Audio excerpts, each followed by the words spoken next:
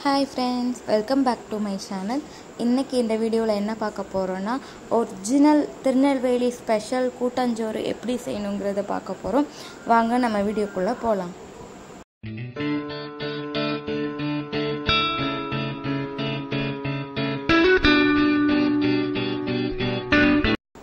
வெங்காயம் எடுத்துக்கோங்க. வெங்காயம் பீன்ஸ் வெட்டி வச்சுருக்கு. கேரட்டு அப்புறம் மாங்காய் வெட்டி வச்சுருக்கு.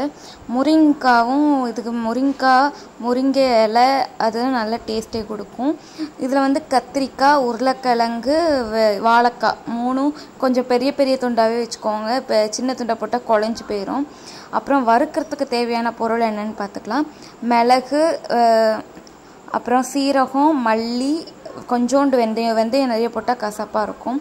அதுக்கப்புறம் வறு வறுக்கிறதுக்கு அந்த இது மிள காஞ்ச மிளகா இருக்கும்ல அதை எடுத்துக்கோங்க.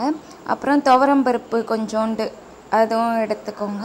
இது எல்லாமே போட்டு வறுக்கணும். இது கூட கொஞ்சம் கருவேப்பிலையும் எடுத்துக்கலாம். கொஞ்சம் ஒரு கைப்பிடி அளவு எடுத்துக்கிறேன்னா இதுக்கு முன்னாடி என்ன பண்ணுறீங்கன்னா புளியை நல்லா கரைச்சி எடுத்துக்கோங்க. இதுக்கு புளி தண்ணி நிறைய தேவைப்படும். இதில் புளிப்பு தான் டேஸ்ட்டே நான் க- கரைச்சி எடுத்துட்டேன். இப்போ வந்து இதில் வந்து என்னென்னலாம் போடணும்னு சொல்லியிருக்கேன் அவ்வளோத்தையும் போட்டு நல்லா ப்ரௌனிஷாக வர வரைக்கும் வறுத்து எடுத்துக்கோங்க. அப்புறம் இட்லி அரிசி தான் இது கொஞ்சம் பெரிய பெரிய அரிசியாக இருந்தால் தான் நல்லாயிருக்கும். ஸோ இட்லி அரிசி நான் ரெண்டு கிளாஸ் எடுத்திருக்கேன். ரெண்டு கிளாஸுக்கு ஒரு கிளாஸ் துவரம்பருப்பு எடுத்திருக்கேன். இது வந்து துவரம்பருப்பு ஒரு கிளா ரெண்டு கிளாஸ் நான் எடுத்திருக்கறதுனால ஒரு கிளாஸ் மட்டும் துவரம்பருப்பு எடுத்திருக்கேன். இதில் வந்து என்ன பண்ணால் கழுவி எடுத்துக்கோங்க. கழுவி எடுத்துட்டு புளி தண்ணி கரைச்சி வச்சுருப்பீங்களா அதை நிறைய கரைச்சி வச்சுக்கோங்க. புளி தண்ணியே இதுக்கு வந்து தண்ணியாக அளந்து ஊற்றுங்க நான் வந்து ஒரு ஒரு கிளாஸ் அரிசிக்கு மூணு கிளாஸ் தண்ணி. அந்த தண்ணி வந்து புளி தண்ணியாகவே ஆட் பண்ணிக்கோங்க. இந்த கூட்டாஞ்சோரில் வந்து புளிப்பு வந்து இருந்தால் தான் நல்லாயிருக்கும் ஸோ புளித்தண்ணி சேர்த்துக்கிறேன். அதுக்கப்புறம் அதை அப்படியே வச்சிருவோம். வச்சுட்டு இந்த அது வறுத்து வச்சதெல்லாம் ஆறிடுச்சு. இதை வந்து அரைச்சி எடுத்துக்கிறதுக்கு நான் இதில் மிக்சியில் மாற்றி எடுத்துப்போம். நல்லா ப்ரௌனிஷ் ஆகிற வரைக்கும் வறுத்து எடுத்துக்கோங்க. இந்த வறுத்து சேர்க்குறதுனால தான் அது டேஸ்ட்டே நிறைய நிறைய பேர் கூட்டஞ்சோறு செய்யும் போது வறுத்துலாம் போட மாட்டாங்க அது அவ்வளோவா டேஸ்ட்டாக இருக்காது. ஸோ இது கூட மஞ்சத்தூள் போட்டுக்கோங்க. மஞ்சத்தூள் போட்டு அரைச்சி எடுத்துக்கோங்க. இது இப்படி பொடியாக தான் இருக்கும். இந்த பொடியாக கொஞ்சம் நல்லா திரித்து எடுத்துக்கோங்க. அந்த அரிசி பருப்பு புளித்தண்ணி போட்டிருக்கிறது கூட இந்த பொடியும் நம்ம அரைச்சி வச்சுருக்க வறுத்து அரைச்சி வச்சுருக்க அந்த பொடியும் போட்டு மிக்ஸ் பண்ணிக்கோங்க. இப்போ இதை அடுப்பில் எடுத்து வைக்கிறதுக்கு முன்னாடி இதுலேயே தான் நம்ம எல்லா காய்கறியும் ஆட் பண்ணணும். இதில் காயம் போட்டுக்கலாம் கொஞ்சம். காயம் தேவையான அளவு உப்பு சேர்க்கணும். அப்புறம் எண்ணெய் கொஞ்சம் ஊற்றிக்கலாம் எண்ணெய் எதுக்காக ஊற்றினா அடி பிடிக்காமல் இருக்கும். அதனால் எண்ணெய் சேர்த்துக்கலாம். இதுக்கப்புறம் நம்ம வெட்டி வச்சிருக்க காய்கறி எல்லாம் ஒவ்வொன்றா சேர்த்துப்போம். சேர்த்துட்டு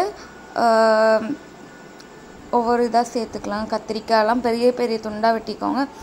எவ்வளோ பெருசாக வெட்டினா தான் அது குலையாமல் இருக்கும். அப்போ தான் அது முழுசாக அந்த இது காய்கறி எல்லாம் முழுசாக இருக்கும் சாப்பாட்டில். சின்ன வெங்காயம் எல்லாமே சேர்த்துக்கோங்க. இதில் கூட முருங்கைக்கீரை சேர்த்தாலும் நல்லாயிருக்கும் நான் முருங்கைக்கீரை சேர்க்கலை. முருங்கைக்கீரை சேர்த்தா இன்னும் நல்லாயிருக்கும்.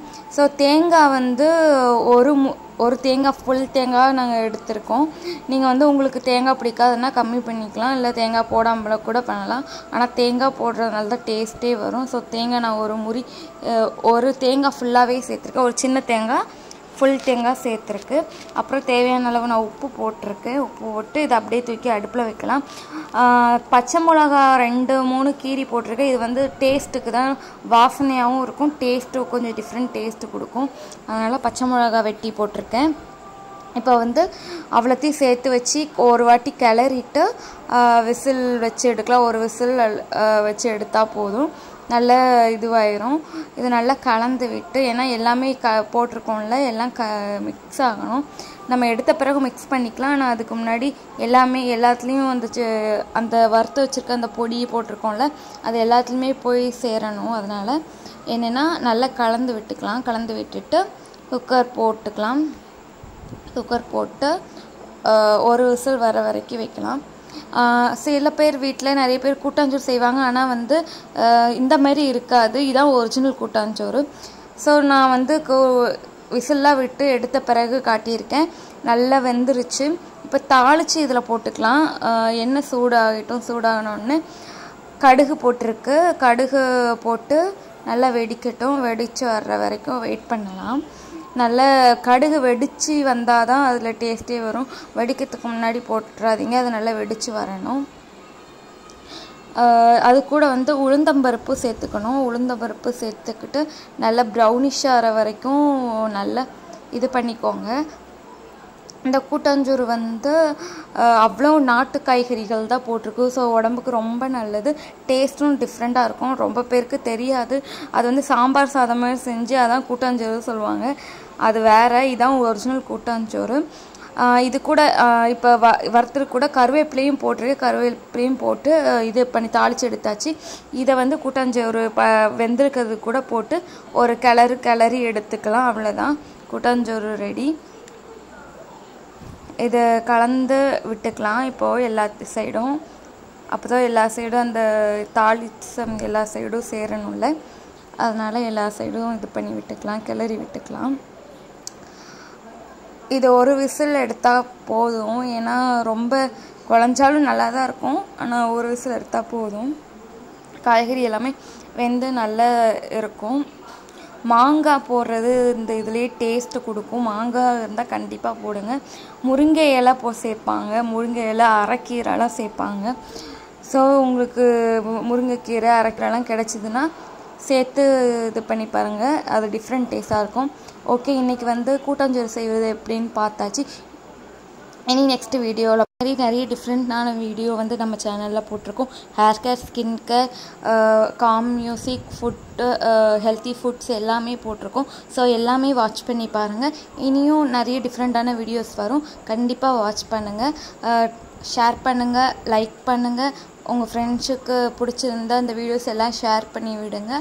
கர மறக்காமல் நோட்டிஃபிகேஷன் பெல் அமுக்குங்க. அப்போ தான் நான் போடுற வீடியோ உடனடியாக உங்களை வந்து சேரும். பாய் நெக்ஸ்ட் வீடியோவில் பார்க்கலாம்.